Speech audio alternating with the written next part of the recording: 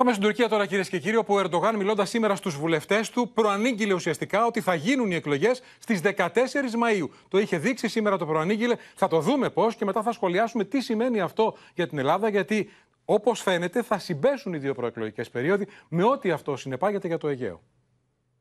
Rahmetli Menderes 14 Mayıs 1950'de yeter söz milletindir diyerek milletin gönlüne girmiş ve sandıktan ezici bir zaferle çıkmıştır.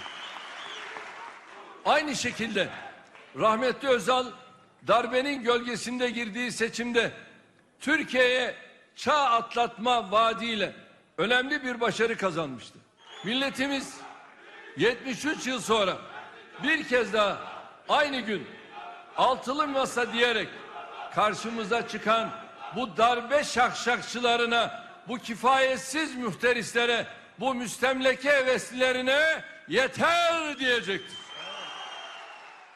Μέσω αναφοράς στον Μεντερές προανήγγειλε ο Ερντογάν εκλογές 14 Μαου, μόνο που δεν είπε πώς τελείωσε η πορεία του Μεντερές. Με κρεμάλα.